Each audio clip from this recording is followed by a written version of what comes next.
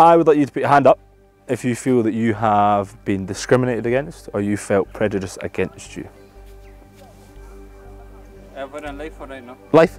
Oh. Life, life, life, life. Where I live, they just look at you like you're very different from the society. Me carrying a cricket bag, walking in the area, they just look at you like you're nothing, like you shouldn't belong here.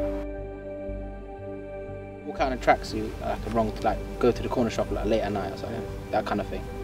Like, they won't hesitate to stop. It's happened like three or four times this year already. You'd be allowed to wear a tracksuit yeah, if I'm going to the corner shop, you know what I mean? I used to be bullied at school for being Indian. I'll tell you a little bit of some of the things I've been through. Yeah, I was one of very few brown people in the, in the, in the town. Um, I used to get called the P word quite a lot. Put your hand up if you've been called that. Called that. I say the P word, yeah. So I grew up with that. Um, I've been attacked in the streets. I've had issues with the police as a result of it. When I was your age, gents, yes, I wanted to be white. That's all I wanted. I wanted to fit in with what I, my surroundings and what I had. I've become really proud of who I am, where I'm from, okay? And that's, for me on this, what I want to instill in you guys is to one, be proud of who you are, right? And to celebrate each other. That's really important. With Elliot, obviously he was talking about his problems. I felt those problems were similar to mine. It made me realise that I can get off my thoughts, but he can't get out of his thoughts. We're just getting them settled in on day one, getting them playing some cricket and talking about some, some pretty important stuff for them. I grew up in Scotland and, and I come from a mixed race background. I'm blessed to have, have been brought up with more than one culture in my life, but it wasn't until I was a bit older that I started appreciating that. It's something they can associate with and they go, oh wait, maybe I am experiencing some of the same things. And, and for me, hopefully that opens, you know, it opens a conversation.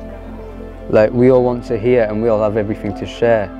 And like some of us, like we're not brave enough to say, but if we hear someone share their experiences, then that makes us want to contribute as well. I don't get it as much, so it's quite interesting finding out from other people's point of view and how it affects them. It's cool to find out like what's different in our lives and how we've come together through cricket.